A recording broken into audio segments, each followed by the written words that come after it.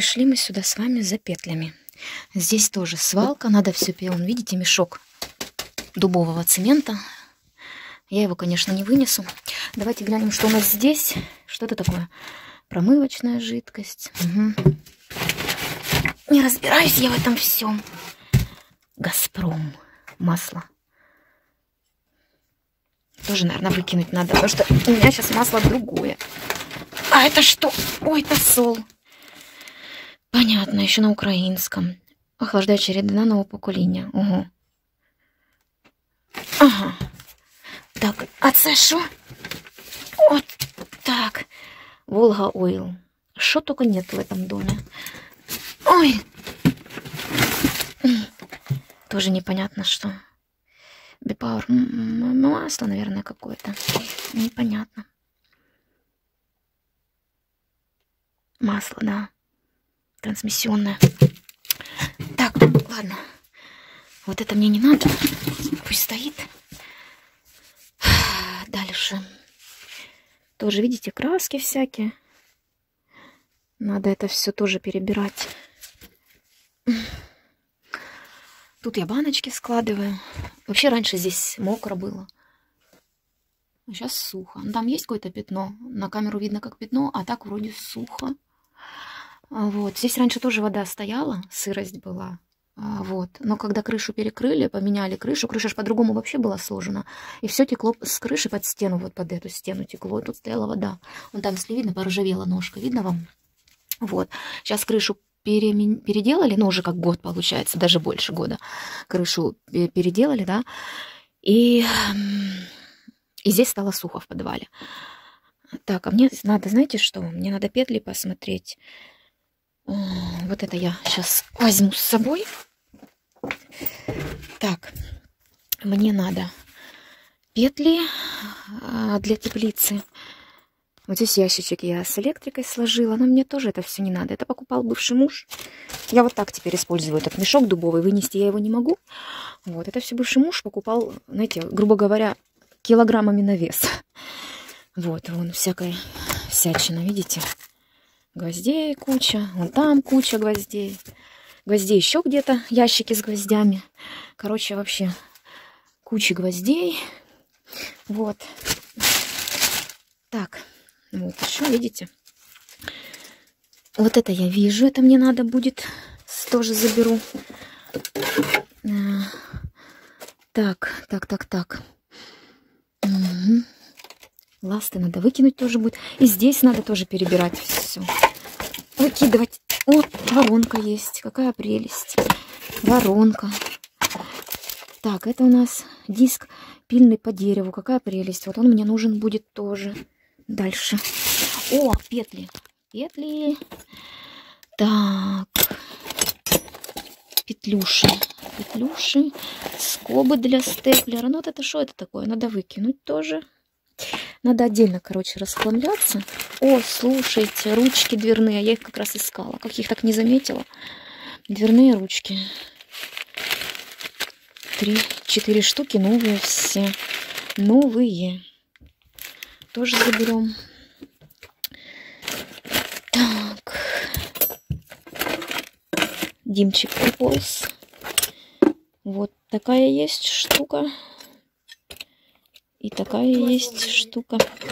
Ну, конечно, тут же хранится все, что не попадя. Так, петли вот эти я возьму.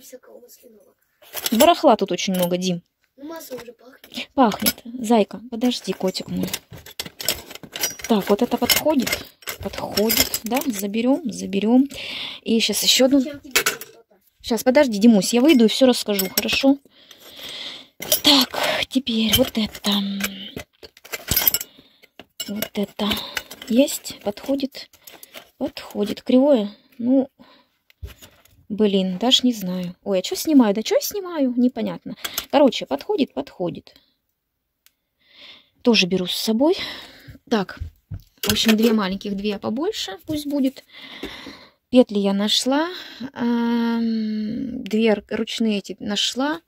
А что мне еще надо было? А, шпатель я хотела. Тут у меня посуда стоит. У нас одно время Илюша кружки сильно бил. Сильно-сильно бил кружки. Я накупила с перепугу. много-много. Ну, не так уж прям, конечно, и много. Запчасти от люстры. Надо уже их выкинуть тоже. Так. Что мне еще? Шпатель мне еще нужен. Ой, где же мне взять-то шпатель? Кисти тоже, видите, килограммами на вес.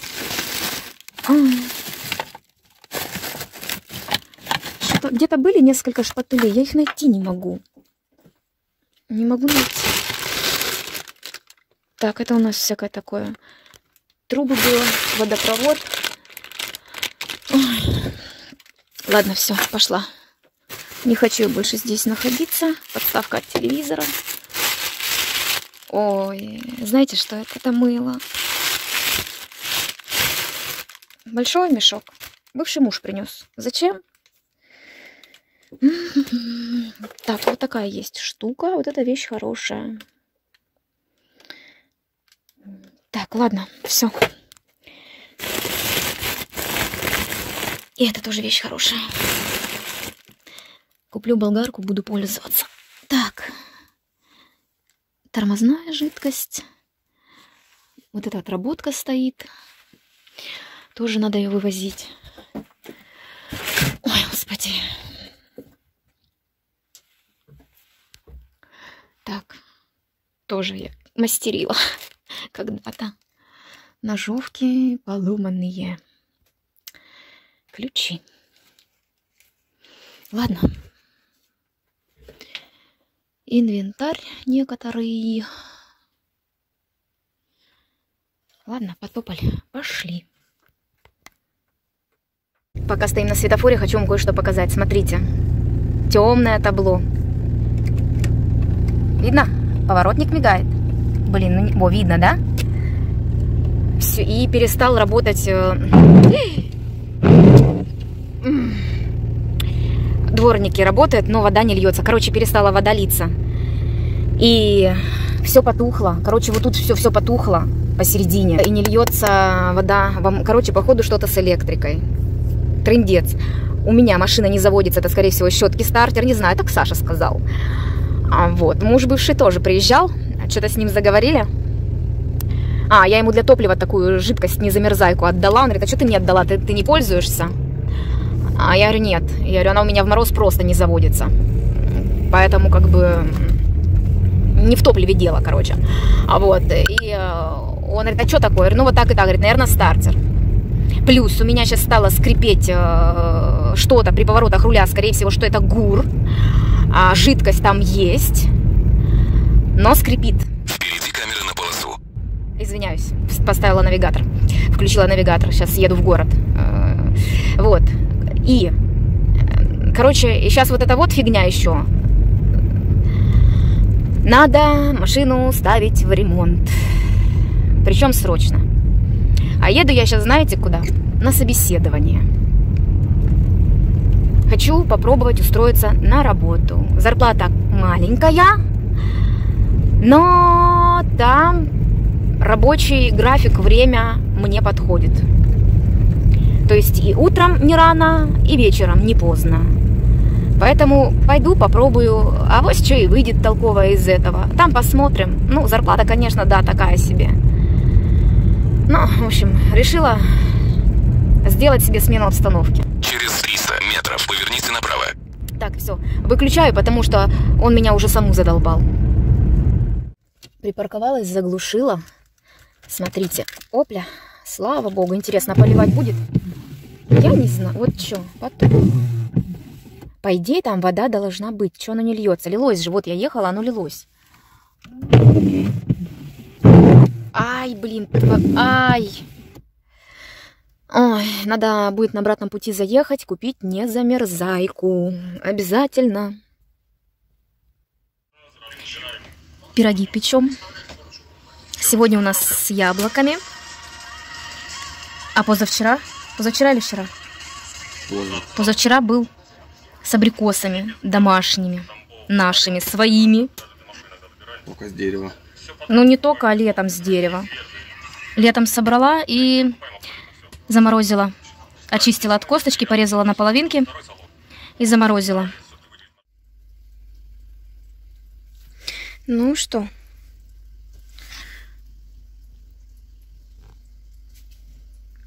Ну, подгореть он не подгорел. Ну, симпатичный так получился. Пирог. Не знаю, как на вкус. Сейчас остынет. Буду пробовать снимать.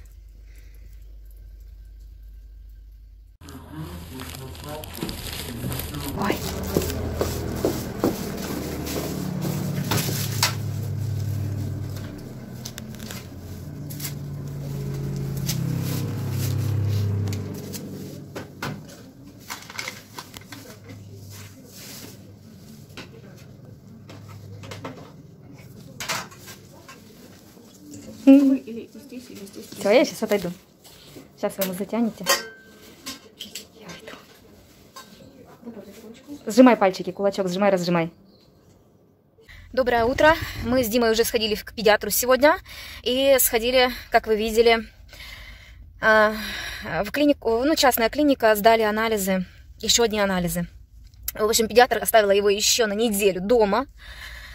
Через неделю надо будет э, прийти на прием лечимся, то есть то лечение, которое нам написала гастроэнтеролог, э, то лечение, которое написал нам лор, а, то лечение, что нам написала иммуно, эм, пульмонолог, э, то лечение, что нам написала педиатр. Мы это все принимаем, лечимся, пьем. Кашель пока что есть. Но опять же таки непонятно, то ли это от, остаточное от простуды, то ли это вот то же самое. Ну, фиг его знает.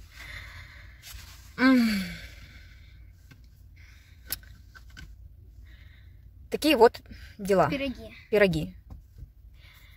А... В общем, сидим еще неделю дома. Вот. И опять же таки вроде как лечимся, лечимся, лечимся, лечимся, лечимся, лечимся, а конкретики особо никакой. Да, улучшения есть. Ну и все. Погода у нас сегодня первый день наладилась, потеплела. А, сначала шел снег с утра, сейчас дождь уже моросит. Откосы я не делала. А, надо сделать откосы, потом созвониться с мастером, договориться на какой день. На какой день? На какой день, в общем, когда он придет. Ставить решетку. Варить, ставить решетку. По поводу работы. Я до сих пор в растерянности. Я не знаю, что мне делать. Эта работа будет с понедельника по пятницу, 5 дней в неделю. С половины десятого до половины шестого. Зарплата маленькая, но и работа там не бей лежачего. Почему мне... А, я за этот месяц нашла три объявления. Первое объявление – повар, я не повар. Ну, повар на раздачу, ладно. Но они там требуют от года до трех лет э, опыт работы. Плюс место такое, ну, в принципе, недалеко от детского сада. В принципе, доехать на автобусе можно. Тот маршрут, который ходит к нам на даче, он же едет и туда. Но поскольку я все-таки и не повар, и опыт работы несколько лет требуется, я оставила этот вариант, ну, скажем так, от, от, отмела его. Дальше еще одно было объявление, склад констоваров, а, ну, как бы и недалеко, а, но туда я могла бы доехать только на машине. То есть, если сломается машина, я туда не доберусь, ну, ни на какой козе не доеду. На машине можно по сокращенке, грубо говоря, почти напрямую. А если на маршрутках, то с пересадками э, через город и потом еще пешком. Ну, пешком, в принципе, немного, но сам факт. Сам факт, что без машины не доедешь. И там, и там зарплата, а, ну, по севастопольским меркам для женщины 22, э, 22, по-моему, зарплата у них там была, да. Вот, нормальная зарплата. Но у них плавающие выходные. Рабочий день также с 9 до 6. Но плавающие выходные. То есть договориться стабильно, чтобы суббота-воскресенье были моими, нет. Мне, естественно, это не подходит, потому что мама есть, но она не всегда может приехать быть с детьми. Она тоже работает. И третье объявление, которое я нашла, магазин констоваров, а, район достаточно близко но все эти районы, это вот э, в пределах, скажем так, наверное, 6-8 километров от детского сада. То есть все раскидано, и школа, и садик. А, но, в принципе, если по кругу брать от точечно, от точки до точки, допустим, что от школы до сада, там километров 6 примерно, что от школы до работы то же самое примерно, также что от сада до работы, получается, примерно это все в районе, ну, примерно в районе 6-8 километров. Удобное местоположение. То есть от детского сада постоянно ходят маршрутки прям потоком. То есть это одна из э, основных улиц. Э, ну, не одна, естественно, улица, но маршрут. Маршрутки идут постоянно из Камышей в центр, и они идут постоянно потоком, и туда и обратно. Магазин на территории э, университета. Работа в основном на переменах. То есть пока идут пары, затишье. Время рабочее с половины десятого до половины шестого. Но зарплата маленькая, по МРОТу. Что делать, не знаю. С плавающими выходными не вариант. Устраиваться опять искать работу два через два э, с утра до позднего вечера, до ночи. Да до ночи уже, извините, 10 часов это ночь тоже, ну, не подходит мне этот вариант. Мы так, мы, я больше года проработала, мы с мамой замучились. И я замучилась, и мама из деревни ездить замучилась. И работа очень тяжелая.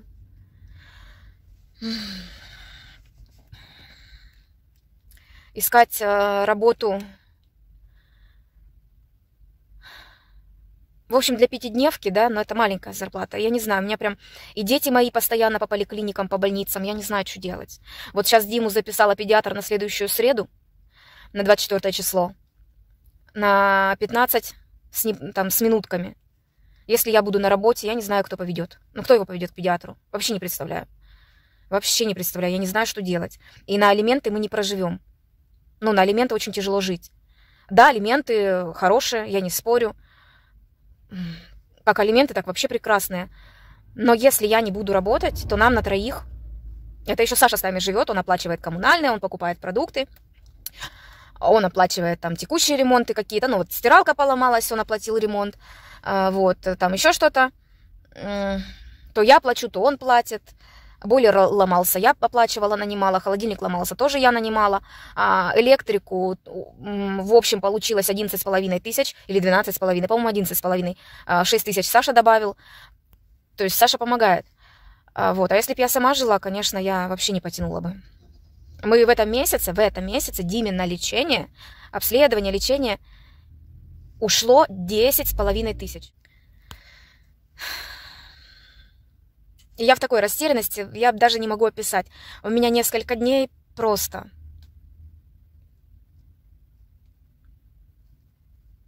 Я в такой растерянности, у меня а, нечто а, среднее между паникой и истерикой.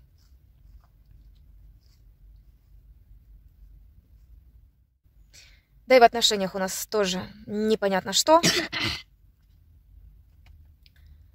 Никакой серьезности, никакой стабильности. И, конечно, меня это тоже напрягает. Я постоянно из этого нервничаю. Я и отношений таких не хочу. И Саша об этом знает. Я хочу нормальных отношений. Будь здоров. Будь здоров. Хочу нормальных отношений. Я семью хочу.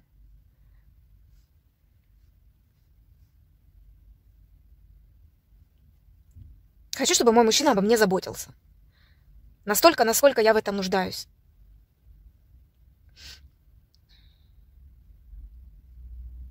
Саша постоянно где-то пропадает, его все время нет.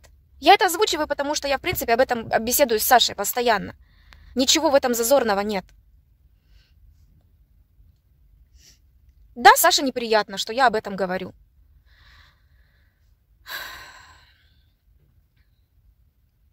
Ну, если не хочется жить нормально, мне ж надо как-то душу отводить. В общем, на самом деле отношения они не такие плохие, как могли бы быть. Но и не такие хорошие, как хотелось бы, и как могли бы быть. Я не считаю такие отношения нормальными. Я считаю, что если мужчина живет с женщиной, то он должен о ней заботиться. И вот это все у меня накопилось. Я не знаю, что мне делать с отношениями, потому что они меня не устраивают. Я не хочу таких отношений. Я хочу нормальную семью, полноценную. Я хочу, чтобы мой мужчина заботился обо мне, как мой брат заботится о своей жене. Я замуж хочу. Замуж хочу, представляете? Я еще родить могу. Мне еще не поздно. Я еще ближайшие 2-3 года, может быть, и родила бы. А я с Сашей уже несколько лет. Думаю, нахрена мне это надо?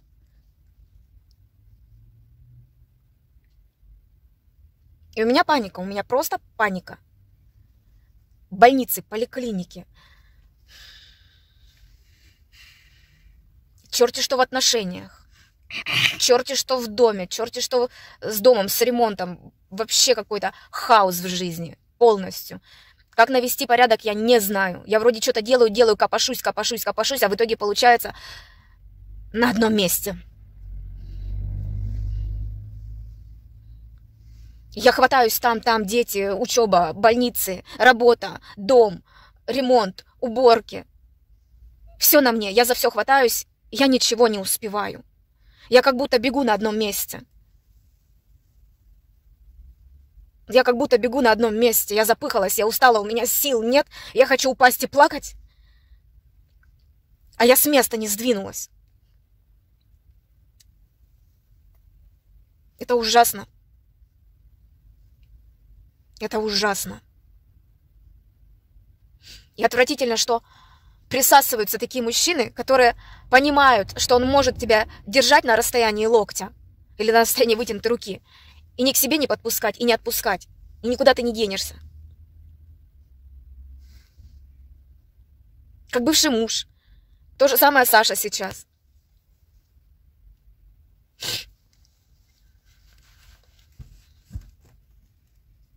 Бывший муж говорил, куда ты денешься, с голоду сдохните. Потому что человек понимает, что материально женщина с маленькими детьми несостоятельна, не самостоятельна и зависима, тем более живя не в э, шаговой доступности цивилизации, социума, а в заднице, как я.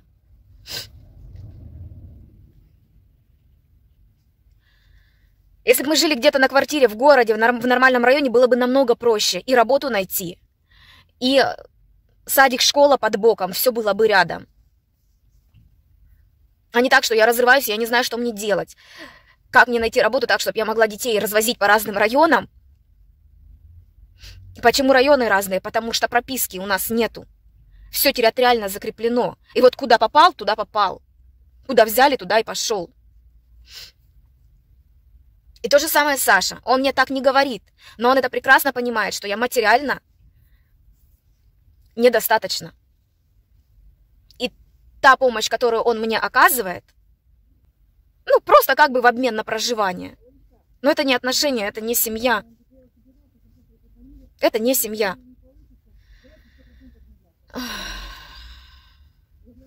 А чем я хуже других женщин? Разве я не заслуживаю нормального отношения к себе?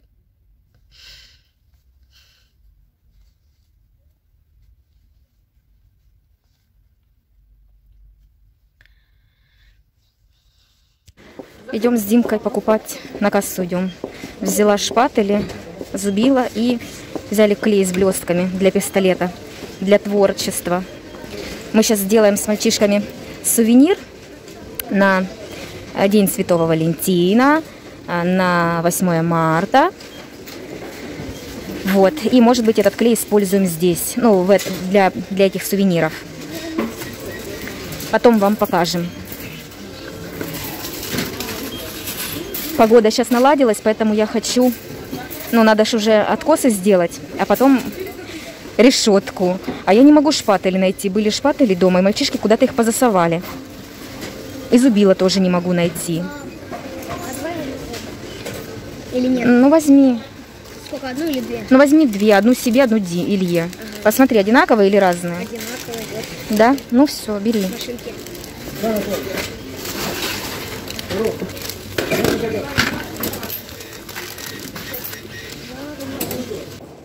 Забрала я оверлок свой. Все, мне его поремонтировали. Единственное, что вот здесь не хватает ну как, винт, винт, винт. Вот.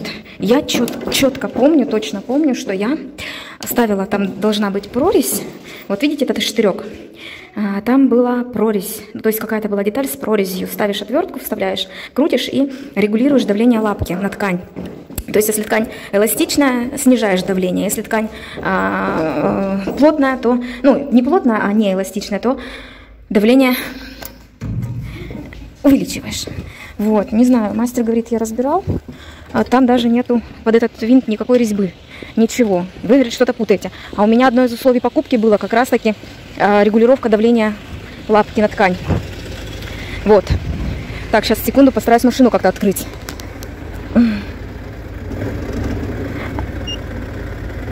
А сейчас, получается, я не могу этого делать. Сейчас, секунду, я поставлю.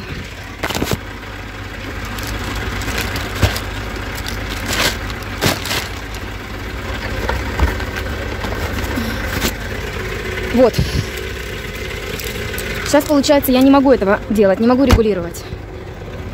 И, и что мне делать, я теперь не знаю, потому что, конечно, без этого очень неудобно. Сильно газанула. Без газа теперь не заводится машина, только с газом. Вот, кстати, еще и машину надо в ремонт ставить. Поэтому я не знаю, и деньги нужны, и детей надо сейчас Илью отдавать на подготовку к школе. Это тоже сумма денег. Алиментов не хватит. Если просто скромно жить, тогда хватит. А если жить нормально, тогда, конечно, не хватит. Надо работать. Потому что Саша, ну, да я и не требую от него, чтобы он детей обеспечивал. Не требую. Но меня-то уж как свою женщину можно было бы и обеспечивать. Ну, как в нормальных семьях живут люди. Так, поехали сюда. Вот. В общем, оверлок я забрала, продолжу свое шитье. Продолжу свое шитье. Буду шить. Что делать с лапкой, с регулировкой, пока не знаю. Сейчас приеду, посмотрю еще раз инструкцию. Но а что ее смотреть, если я знаю, что оно должно регулироваться? Поэтому надо будет поискать где-то в интернете, может быть, какие-то сервисные центры. Этот мастер, а, он на дому работает. Ну, чинит, нормально чинит. Мне его, в принципе, посоветовали как раз-таки в швейном магазине. Вот.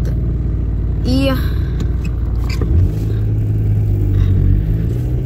Но, наверное, надо все-таки поискать какой-то сервисный центр. Я так думаю, что-то с этим решить. Ладно, я уже порулила, поэтому неудобно. Основную мысль высказала. Сказать мне больше пока что нечего. Никаких других новостей еще у нас не случилось хороших. Поэтому поделиться, в принципе, больше и нечем. Дождь идет. Потеплеть-то потеплело, но идет дождь. И мне, честно сказать, я сейчас очень не хочется идти в дождик, э, в грязь, слякоть и пытаться мазать откосы, что-то делать. Честно скажу. Мне не хочется. Я люблю тепло. Ну, а так сейчас посмотрю дома по обстановке, по самочувствию, по, по, само, по, по самоощущению.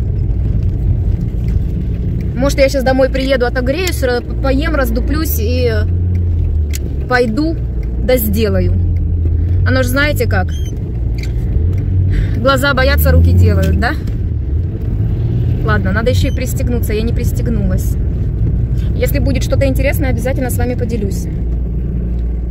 Идет дождь.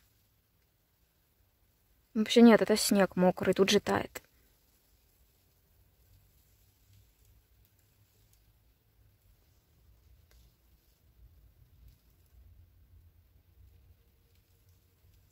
Ну ты как я? Блин.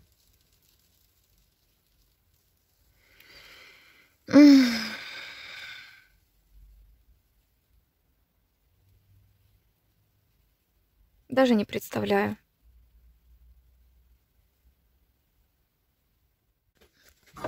Чистим с Димкой печку мы.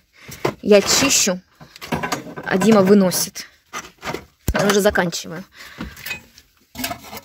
Чистим, в смысле, просто чистим, не, не дымоход. Да я снимаю, сынуль, а просто чистим. Зола сыпется везде. Но здесь-то само собой, а тут стоит ящик вот этот. И под ящик тоже каким-то образом попадает, зараза. Я стараюсь аккуратно чистить, никому не даю чистить, потому что... Что Саша, что дети, когда чистят, тут все летит во все стороны. Дым, ну не дым, а вот эта зола стоит столбом, пыль столбом стоит. И так пыльно очень. А так вообще прям... Я вот так вот ссыпаю ее. Ой, господи, хоть чуть-чуть там достать, выковырить оттуда. Да все уже, наверное, хватит. Гвоздей, конечно, много. Очень много гвоздей. Так. И вот этой бутылкой пшикаю. Чтобы через дом пронести, чтобы с кухни вынести, чтобы оно не сыпалось, не летело во все стороны. Вот.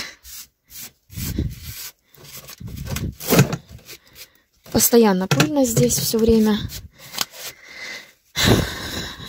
Не знаю, как-то грязно у нас этот год. Почему, не знаю. То ли дымоход, то ли хрен его знает. Что с дымоходом делать, тоже до сих пор не знаю. Потому что, потому что я не планировала. Я надеюсь, ну как, я считала, что мне дымоход поменяли на новый. И все. И лет пять я могу не заморачиваться. А тут, оказывается, не тут-то было. Надо опять заморачиваться. Так, ладно, будем печку сейчас топить. Спит он так. Ляпы эти. Если бывает вот так раскинется и спит, лежит. Тут у нас Дима мастерит сидит. Не буду показывать, потом покажу, что Дима мастерит. Хочу вам сейчас кота показать, как он спит. Шпит. Да, Барсюнь? Басюся. Борюся. Борюся. Сонька. Ты Сонька. Ой. Ой. Что такое? Басечка. Барсик. Барсик. Кот в неадеквате. И что это такое? И что это такое? А ну, ты что делаешь? Ты что делаешь? Ай-яй-яй. А? Барсик. Барсик.